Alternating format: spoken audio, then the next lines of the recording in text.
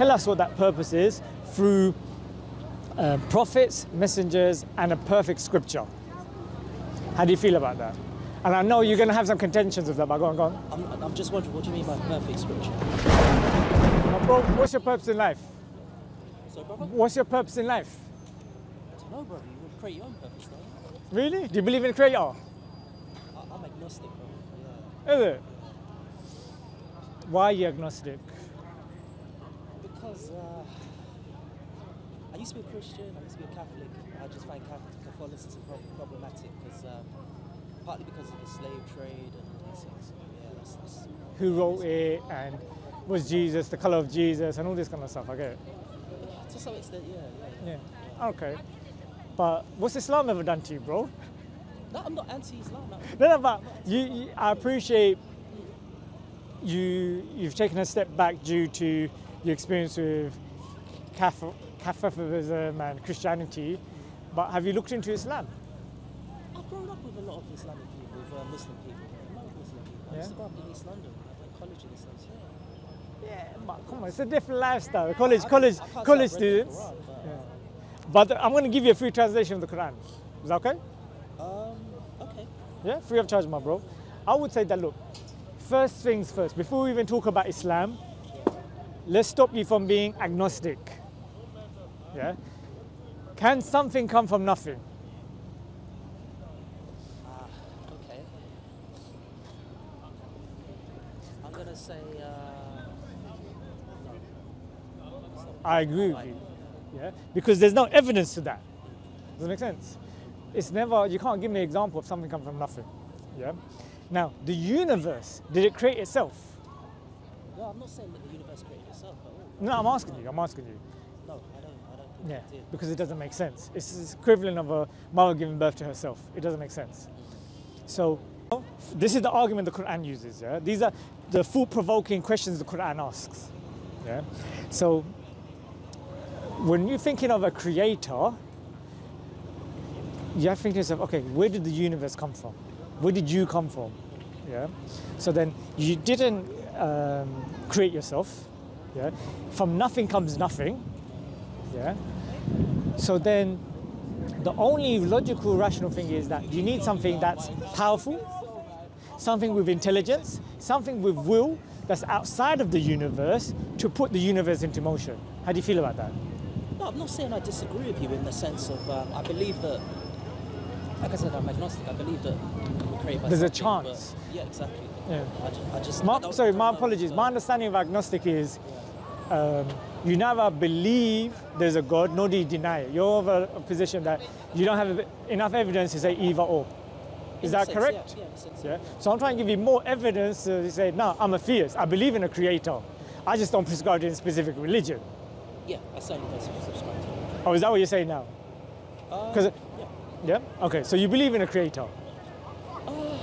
I just don't believe in a, the, the the biblical or the No, scripture. leave, leave that to one side. Leave that to one side.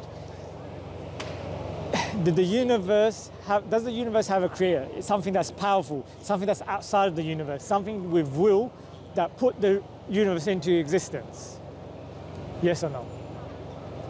I'm gonna say yes. I, I- Yes, I, yeah. Until I find evidence contrary. I, Thank you. That that is a safe position to hold.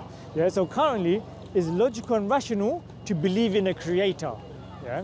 So through this small dialogue we've established that it makes more sense to believe in a creator than not to believe in one. Now it's a matter of what what does the creator want from us? Yeah. And I would say that look, the creator didn't create us without purpose.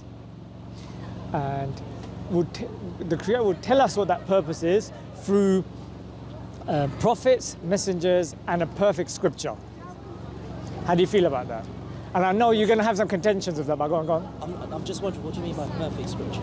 Perfect scripture, as in something from God that's been preserved, that's got no mistakes in it, no contradictions in it. Um, that's what I mean by perfect. Okay. Yeah. I would argue the book I've given you, that the book you're holding in your hand, is a perfect, unchanged word of God. This is the only religious scripture that claims to be from God. The Bible doesn't make that claim. Yeah. The Quran is the only scripture that says it's from Allah and Allah will preserve it. Yeah. the Prophet Muhammad, peace be upon him, he spoke Arabic. The Quran that I've given you now was translated from Arabic to English. We have over 200 million Muslims who have memorized the Quran word for word, letter for letter, dot for dot in the language it was revealed in through oral tradition. So we can trace it all the way back. So this person memorized it from this person who memorized it from this person, go back about 15, 19 generations, and all the way to the Prophet Muhammad. I'm arguing that the Prophet Muhammad is a man chosen by Allah, chosen by God. Yeah? I'm going to define to you um, and explain to you who the Prophet Muhammad is, depending on the time you give me, and I will define what God is. No, no, I'll be quick. How much time do you have, by the way? I want to be respectful to your time. Well, I was going to catch the bus. Is it? So, yeah. The, what, what time do you start work? We've got how many minutes? Because I'll, I'll keep it within that time frame. Okay, we'll do like three minutes or something. Three minutes, yeah? All right. I'm gonna put a time on my phone, bro. That's that's how much I respect your time. Okay, where we at? Okay, so now you're thinking, okay, as a Muslim, I would make this point, yeah? We have non-Muslim academics. If you Google Birmingham manuscript, you see that you've got non-Muslim academics who are saying they can carbon date the Quran to the lifetime of the Prophet Muhammad because they found um, like parts of the Quran, like large parts of it. So they can carbon date to the lifetime of the Quran, lifetime of the Prophet Muhammad, and that's the exact same Quran that 200 million people have memorized, word for word, letter for letter. So I would say your experiences of Christianity and the Catholic faith, right? Leave that to one side. Look at Islam through a new lens. 1400 years ago, yeah, the Prophet Muhammad, in his last sermon, the final sermon, he said, No white man is better than a black man. No Arab is better than a non Arab. He didn't have to stick his neck out. Does it make sense? Yeah? He was given women's rights. Sorry, let me just very quickly finish. And he said, The thing that differentiates you is taqwa, is God consciousness. Does it make sense? So I don't know. Um, you never know how much taqwa I've got, how much God consciousness I've got, how much connection with God I have. Like we see these people, you never know because it's in the heart. You want to say something, my bro? No, because when you spoke about um, no one particular group is above any other in Islam, my, my impressions of Islam from what I've seen is that the Arabs are the ones who dictate, like hold, the, I guess, to hold the keys to religion in some ways, and, and other, pe- other other groups are subordinate in some way. I would say that's your perception.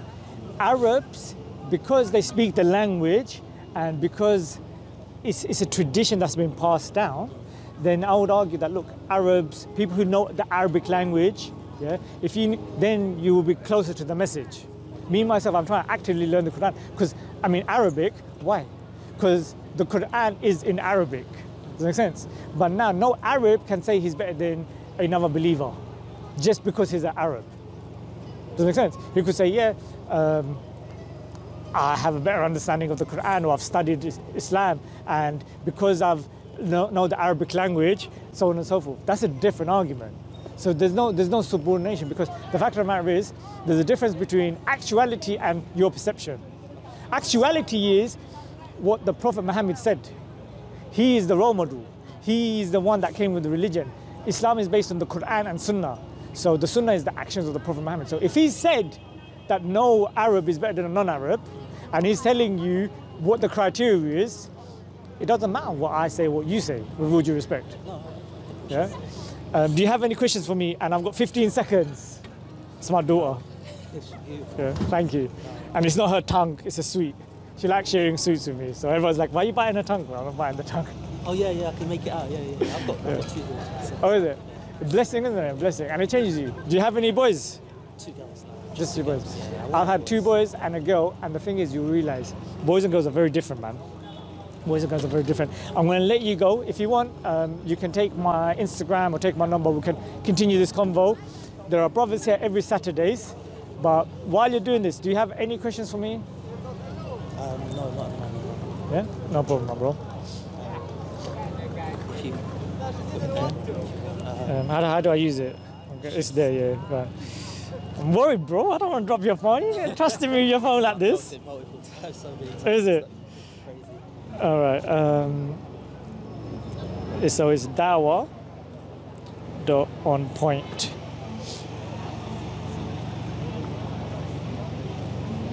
Your internet, man. What what provider you with? Free. And every time I'm around here, it's really bad. Yeah, yeah, yeah, yeah, yeah. is terrible around here. In central London as well, where I work, it's, it's terrible. Tell them, man. Get another thing. But yeah, that on point. Once I basically uh, get to the high road on the 25, just up there, just turn around and turn to the right on the high Oh, road. then you know exactly. It'll be like that one step, and you're like, yeah, Exactly. internet, It's no internet, internet, no internet. But yeah, so it's dialed on point. I'm gonna let you go, and yeah, to be continued, my bro. Or is that gone?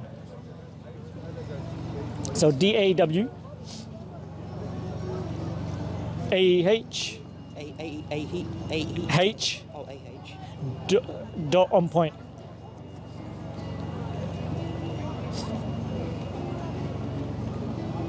Okay, if, that goes, then what happens Screenshot. What's your name, by the way? Uh, Jan. Jack Uh, Ridwan, huh? Jan? Jan, Jan Ridwan. To be continued, my bro. Have a Thank good day much. Work, yeah? No problem. Take care of yourself. Thank you so much. Alhamdulillah. Um, yeah, lovely conversation with Jan. May Allah grant him Islam. We didn't have a lot of time to chat. He mentioned he had a negative experience with the Catholic religion, like Christianity and then Catholic religion. And this was mainly due to um, how black people were treated in there in the slave trade, um, which we didn't get a chance to record.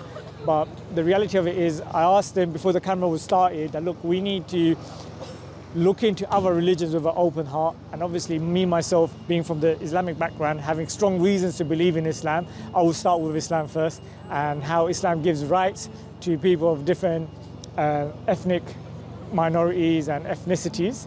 So, alhamdulillah, um, inshallah, Allah gives him the tawfiq to open the Quran, read from it, benefit. He took it with him and grant him Islam because that's the ultimate success we will want. Assalamu alaikum warahmatullahi.